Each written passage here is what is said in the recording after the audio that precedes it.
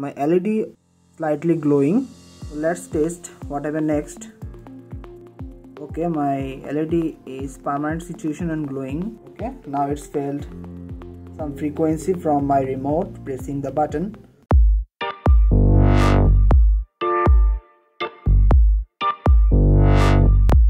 hello viewers this is tanbir. Welcome to my channel.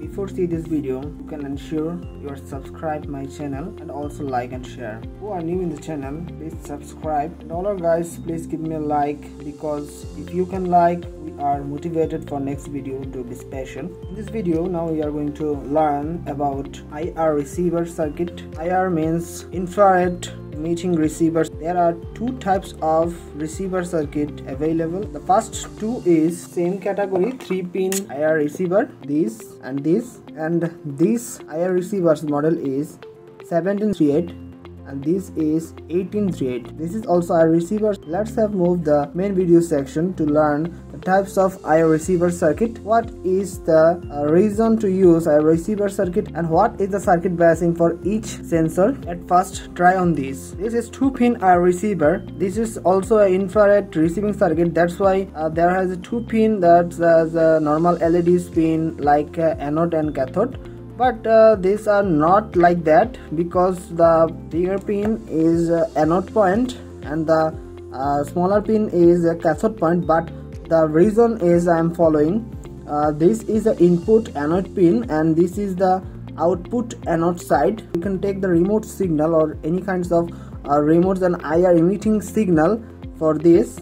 And we are take the signal from this pin. So have a look in the breadboard section remember first this is anode and this is output anode now taking a one npn transistor like bc547 this take to amplify the signal to big appliance. That's why i'm using this. So at first remember the three pins diagram the one is collector the second is base and third is emitter. Okay my two elements are implanted on breadboard. Now i'm taking two wire from voltage source side. Red wire is positive and black wire is negative also. I'm set this voltage source as a 5 volt. Now i'm taking one light emitting diode this is led the bigger pin is positive and smaller pin is negative also. The positive pin is going to connect emitter of the side my bc547 and negative side negative pin also connect with voltage source negative side okay these are connected. These are connected with transistor base with the IR receiver output pin.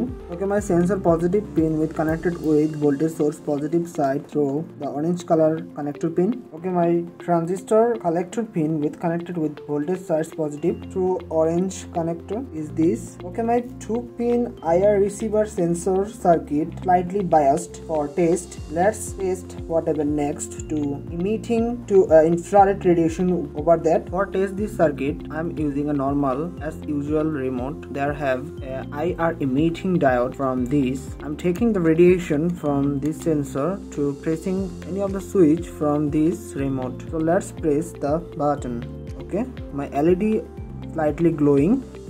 And look at that some frequency on showing of my led let's connect the capacitor to see the effect when the capacitor is connected with sensor. Now i'm check one capacitor.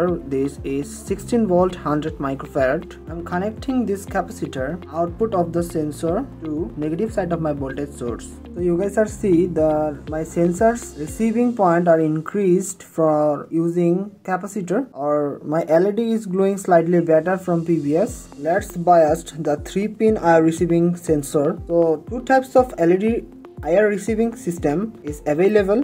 One is this and second is this. For this circuit that pin is positive and this is negative. Also this 2 pin is 5 volt and this is the output pin and this is also negative output pin. And from this sensor this is positive this is negative and this is the signal point. You guys are already know these two pin from both sensor are output pin. These two pin are generating negative signal to receiving IR emitting diode radiation. So these are negative signal creating. So these are output of negative signal. That's why I'm using the PNP transistor which are sensing the negative signal from base. That's why I'm using BC557 also the first pin is collector second pin is base and third pin is emitter. Collector base emitter. Okay my sensor is implanted. This is um, ISO 5038 okay already I'm implanted my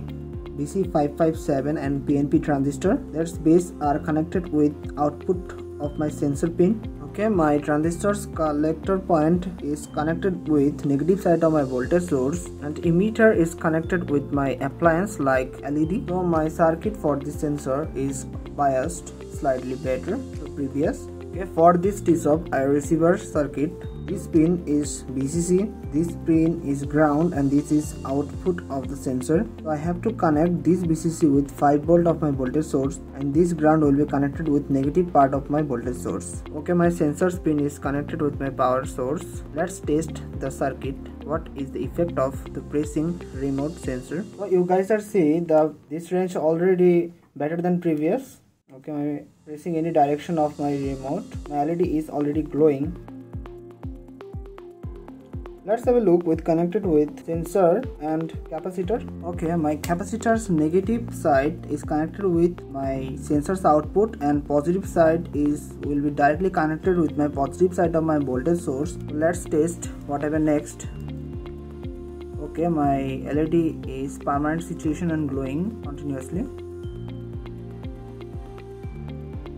because when I pressing this button this infrared sensor is receiving my infrared radiation from my remote and this is generating my negative signal. And when this create a negative signal the capacitor is steadily charging and this capacitor gradually discharging after displace from this button that's why my LED is continuously glowing and this capacitor slowly discharging and my LED is slowly decreasing.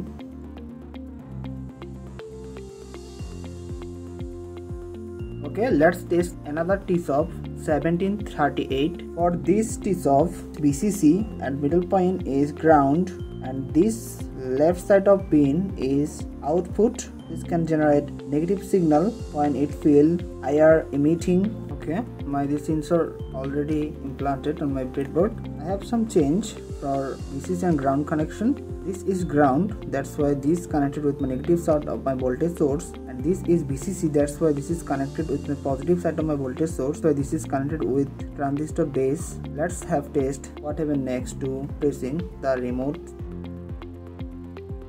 Okay it is similar like previous sensor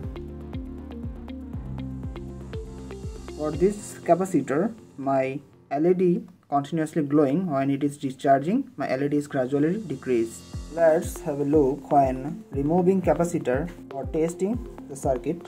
Okay, now it's failed some frequency from my remote pressing the button. It is similar for previous guys our arduino projects are coming. They are using the types of sensors and working process how it is worked with your situation included this tsop no more today. Thanks for watching. See you in the next video